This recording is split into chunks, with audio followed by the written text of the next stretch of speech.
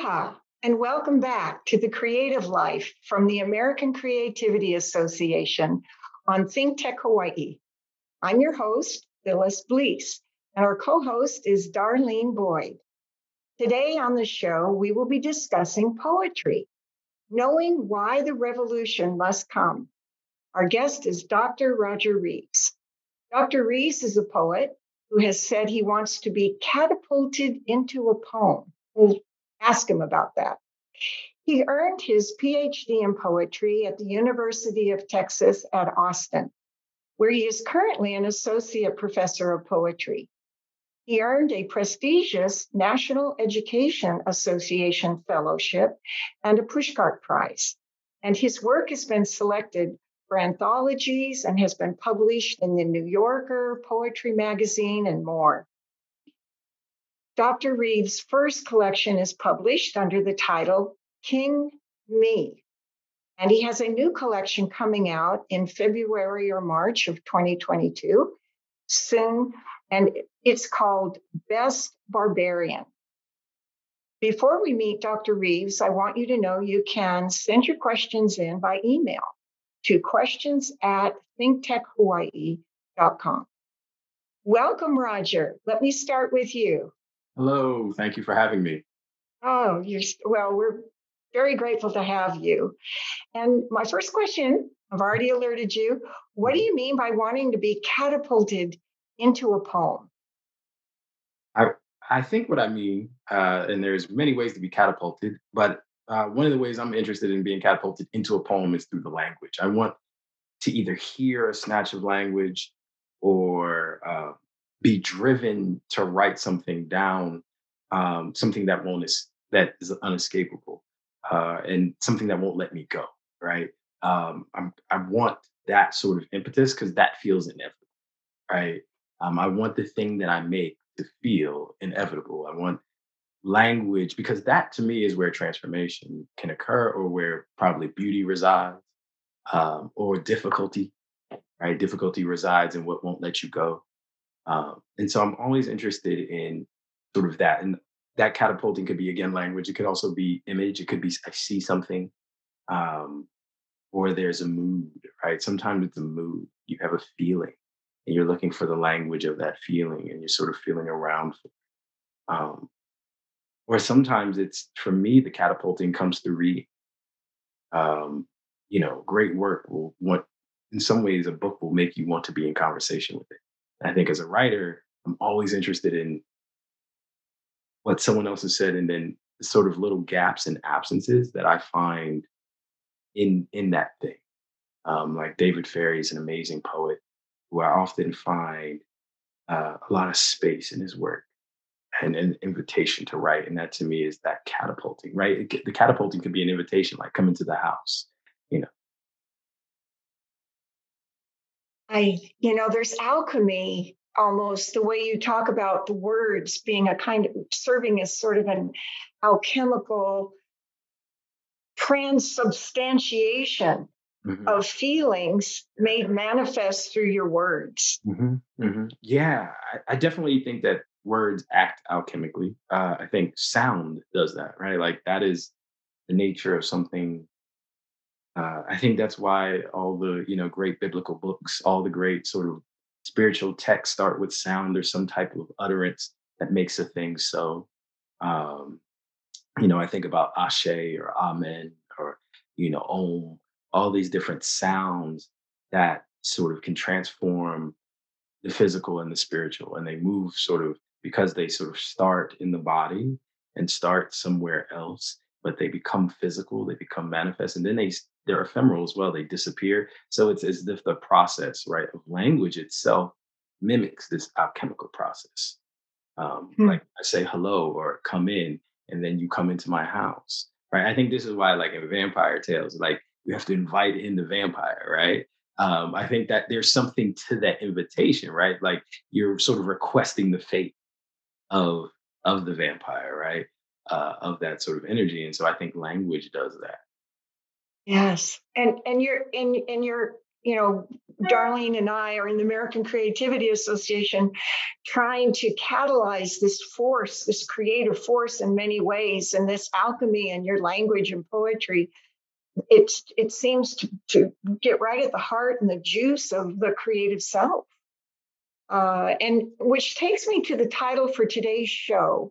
And you say, how, and I'm wondering, how does poetry tie in with this knowing knowing why the revolution must come. That's i that's a provocative title and you helped us craft it. What revolution what revolution is coming and why does poetry help us know that? This is coming you know i yeah. we haven't talked uh, the, the audience should know we haven't really talked about this yet so i'm going to be learning along with the audience about your title for today.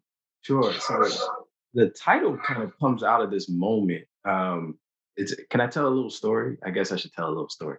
Uh, you know, they say great lessons are, you know, the great lessons of life are learned through narrative. Uh, or at least Toni Morrison would argue would have argued that. Um, but I was I was actually traveling to Alaska for the first time, and I was in uh, Juneau, and I remember it's a very quiet city, very quiet. It was February or so, and I get there, and the first thing I always do anytime I go to a, new places, I go to its bookstores.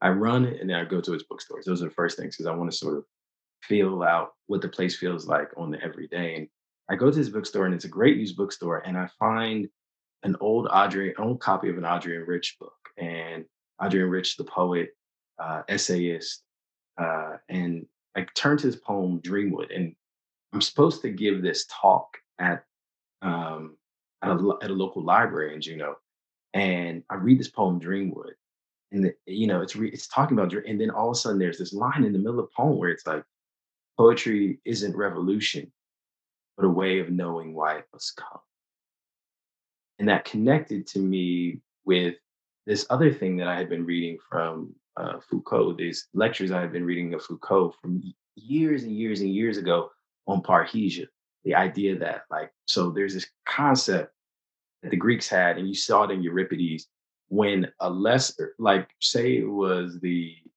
court jester or a servant, had to tell the truth to the king or queen or the empire, to the emperor, or to someone like the, the senate, and that servant had to speak truthfully, they knew that if they said something that could upset the empire, emperor or the empress, they could get their heads cut off right? They could die, they could be killed for this.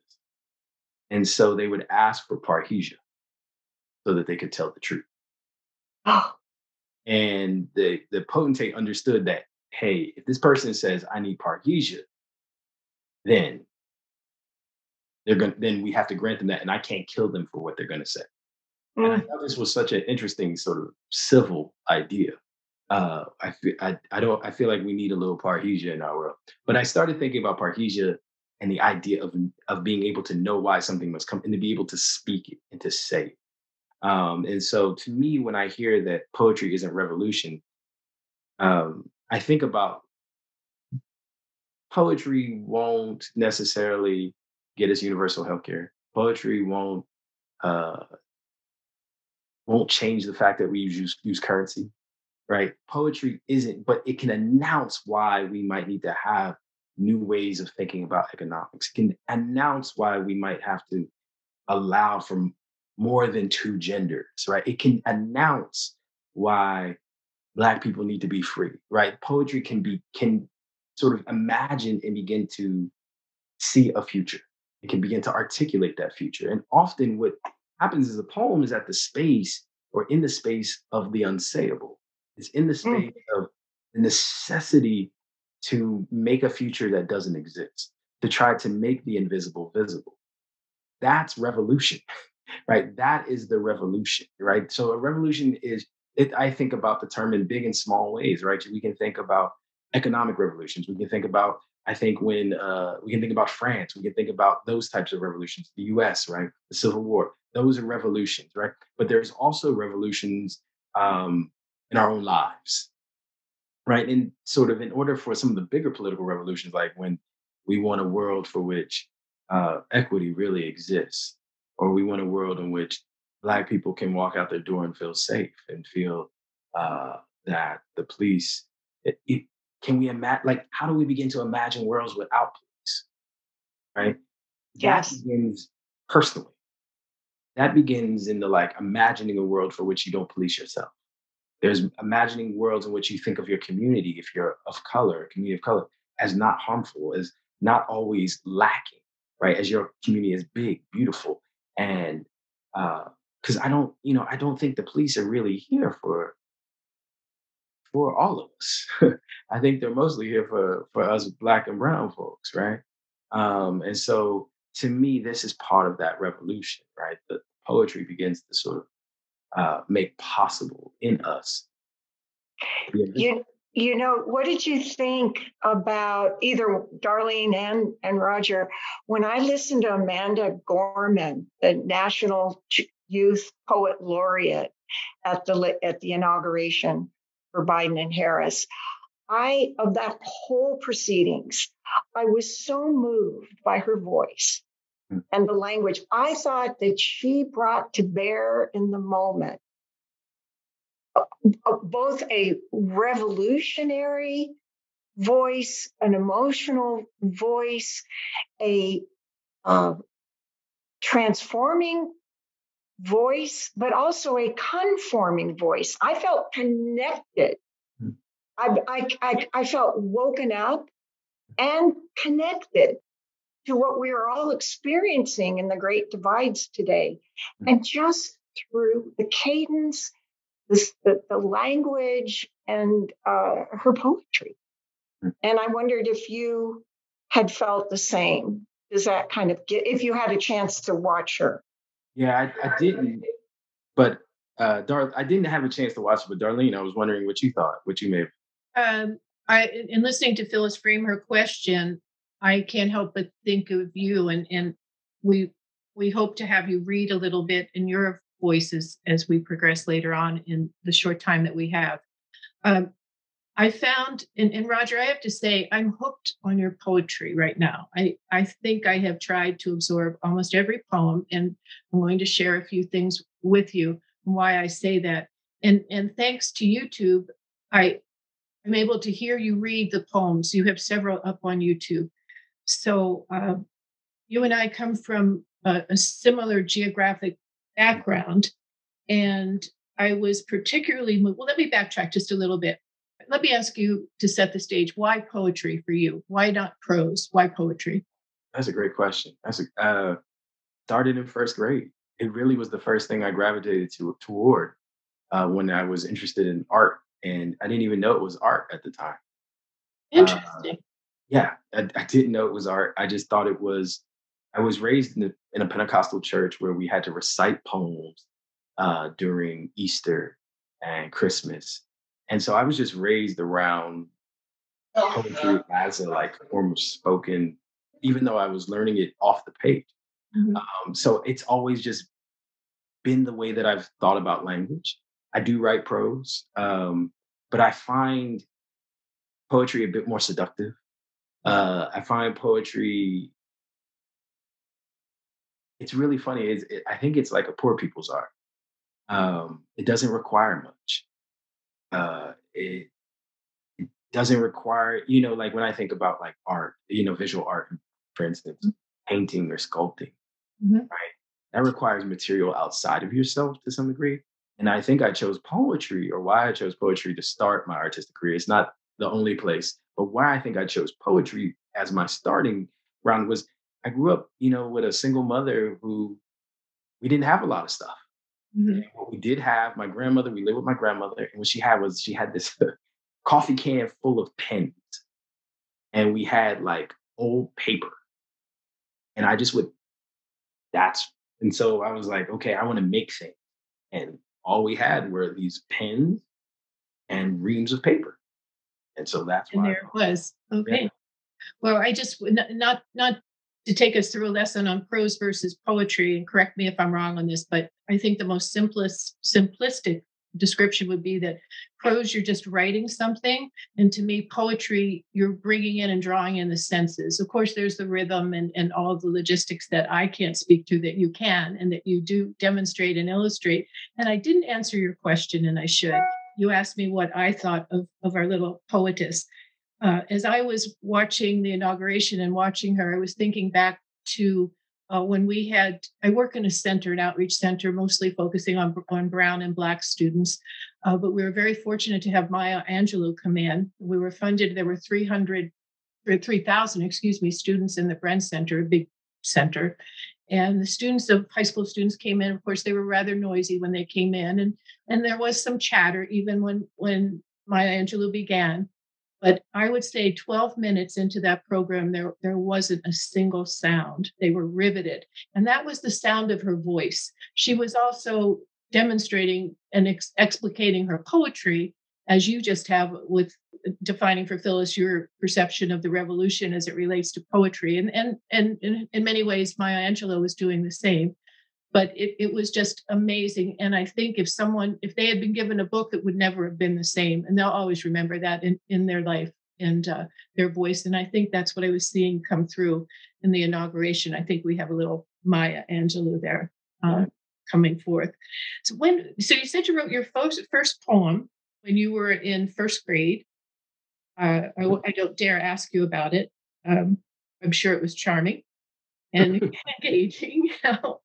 um, but I think I, I read something about you when you were 16, something, someone challenged you, or am I correct in that? Well, so it's interesting because I want to, there's several things I want to address. Like, uh, I love the, I love the research because you, yes, in 16, at 16, um, I was writing journalistically in high school. And I had a great journalism teacher, Mr. Connolly and he just challenged me to revise. uh, he challenged me to to think about the world in, in, in some really interesting ways, really ways that contradicted what, the way I was being raised. In fact, uh, um, thinking a little bit larger than I was being taught to think, uh, and that was great. Uh, it, it's it's something I go back to um, all the time. I think about Mr. Con- In fact, during the summers is when I think about Mr. Connolly actually, because I would send Why him summer? Because I would always send him work in the summer. I, I would send him poems. I would send him things I was writing, and he was so encouraging. He would write back, um, and he would talk to me, and and that was a great sort of lesson too about poetry and about the communities that poetry and writing makes. Because I think one of the things is it's so extracurricular um, to be a writer. No one is like, no one's like, oh man, you want to be a writer? Awesome. Let's let's set you up. Right, you know, you tell people you want to be a lawyer, people are so behind that. You want to be an engineer, behind that. You want to even play basketball or be a football, behind it. You tell people you want to be a writer, people are like, so you want to star, right? Um, and so uh, Mr. Connolly was one of those that it's where writing really happens. Really, writing really happens in these like back doors and after school uh, in the summer when no one can see you. You know, it's, oh. it's interesting because we know we can find research to support anything if we really look hard enough, but there is conclusive research that tells us, especially in the area of, cre- area of creative productive thinking, that generally, if we really think really hard, there's probably one person that has made a distant a, a difference in our lives, and that person is generally a teacher as you're giving your example, Mr. Conley, and setting our life on track and also developing a passion. And uh, one of the one of the dimensions that we talk about or hope to talk about when with each of our guests, Phyllis and myself, we hope that we're able to identify that we have someone that has developed such a passion for their art and, and we really think that that you have that passion and as i was looking at your particular uh, poem Philadelphia to Mount Vernon. I guess you can guess why I was looking at that one. Um, I had many things going through my mind. And one of them being that for me, I think the difference between the, the prose and the poetry, as I've said, would be the senses. But you did something for me in that poem as I was reading it that I wasn't expecting. And it's kind of humorous. Uh, coming from that area of Philadelphia and South Jersey myself growing up. You mentioned the kiss on the Delaware and the smell of the chemicals. I thought of my kiss, which was not on the Delaware. I'm not sure I want to think about it. But I thought, thank goodness I was upwind because those chemicals smell so bad. And if your kiss reeked of that of those chemicals, no wonder you can't forget it because of all the factories. So when folks now land in Philadelphia, that's not just the fuel from the plane you're smelling. It's some of those if you happen to be upwind or downwind, whatever happens. But the reason I mention that, not not just for the humor, and I appreciate that you're smiling over that. Um, but I think when I read your poetry, I felt that I was watching a movie. Mm-hmm. And not only was I watching a movie, because of course the, the artistic part and the visuals were amazing for me. The kiss on the Delaware, so simple. Uh, you you're interest you, you talked about Vic Wittgenstein and Foucault and and going from the crumb of the Delaware at that point to the, the analytic philosophers, their arguments. I, I find that amazing and refreshing. But the sensory experience was was quite interesting and and, and quite incredible. Um, I can I, I'm I'm looking forward to your your book coming out, your next book. Wow, thank you. It's so it's it's it's so interesting. Like I love that that was the way you connect. Like for me, I'm, I'm always interested in where people come into a poem because it's not always the first line, right? Like, but when you find your way in, all of a sudden the poem sort of it, it becomes sort of multitudinous, uh, becomes mansion-like in a lot of ways. Um, and well, so, since, I, since yeah. we're talking about revolution, it, also in that poem, you talked about the lawn jockey with the Blessed Virgin looking down mm-hmm. on, on the lawn jockey. Uh, was that a church setting or a yard setting? Because in my growing up, and no one complained about them. There was another reason. There were lawn jockeys all over the place white families, black families, it didn't matter. And there was a, probably because we were in, we had the racetracks. We had the AC racetrack, mm-hmm. we had Garden State racetrack, mm-hmm. and horse horse racing was an interest, and jockeys were respected. Mm-hmm. Not to say that the statues were always treated with respect; they seemed to move around sometimes. Um, my father wanted one, and my mother wouldn't let him have one. Uh, but exactly. the idea the idea of how you meshed, messed the Blessed Virgin looking down on the jockey, I found that rather interesting. Where did that come from? Chicago. Uh, that's from living in Chicago and walking my daughter to daycare every day down this one street. Uh, her daycare was at an in-home daycare that was like two blocks from our house, and I would walk by, you know, like you walk by, and you walk by fences, and and mm-hmm. I'm walking by this this sort of eclectic gathering of lawn material. But what's interesting, I think, why I found it, there was no grass. Right? There uh-huh. so there was the lawn jockey, and then there was the marriage, right? And they were in the same space. And I, it's true. And I just thought this is such an interesting juxtaposition. To me, that's how art happens: is these interesting juxtapositions, right? These lawn, these two symbols that carry so much weight so much American historical weight, world historical weight. And so, for, yeah. for those who haven't read that, do you want to start to just share some of your poetry with us? That one or the Our Slaves Caring for Masters and Deforming Mastery, or um, the, you know, you know from Philadelphia I, to yeah. poetry? I, I I don't have. It's funny. The two that I I, I brought up that I was like, oh, maybe I'll read these two are actually not not those, but that's okay. I think we need to hear it from the master himself, being Roger.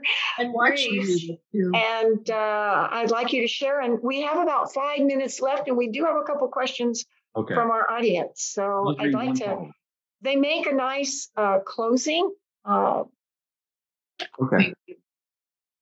I can read one. I can read one poem, and then uh, please. Uh, and this one sort of, again, is thinking about my upbringing slightly as it overlaps with James Baldwin's upbringing, actually. Mm. It was also raised in a storefront Pentecostal church.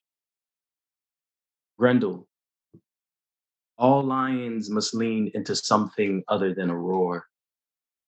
James Baldwin, for instance, singing Precious Lord. His voice as weary as water broken over his scalp, in a storefront sanctified church's baptismal pool.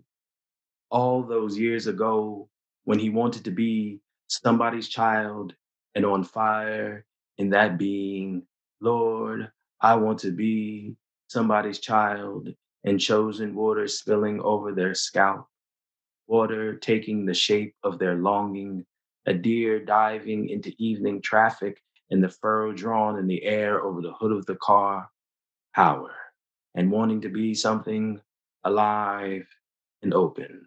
Lord, I want to be alive and open. A glimpse of power, the shuffle of a mother's hand over a sleeping child's forehead, as if clearing the city's rust from its face, which we mostly are a halo of rust, a glimpse of power. James Baldwin leaning into the word light, his voice jostling that single grain in his throat as if he might drop it or already have. I am calling to that grain of light, to that gap between his teeth where the many of us fatherless sleep and bear and be whatever darkness or leaping thing we can be. In James Baldwin's mouth, my difficult beauty, my weak and worn, my future as any number of angels, which is not unlike the beast Grendel coming out of the wild heaven into the hills and halls of the mead house at the harpist's call, with absolute prophecy in his breast and desire for mercy, for a friend, an end to drifting in loneliness. And in that coming down out of the hills, out of the trees, for once bringing humans the best vision of themselves, of course, must be slaughtered. Mm. Roger, you're on your way to Radcliffe at Harvard. I want to make sure our, our viewers yeah. know that for a fellowship. So we wish you well and congratulations. Oh, thank you.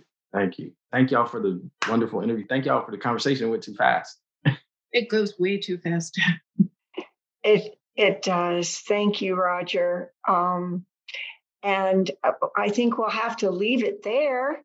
Uh, let our audience know you have been watching The Creative Life on Think Tech Hawaii. Today, Darlene Boyd and I have been discussing poetry and how it wakes us up to the meaning behind revolution itself. Thanks for participating, and thanks to our viewers to turn, tuning in. I'm Phyllis Blees. We'll be back in two weeks with another edition of The Creative Life. Aloha.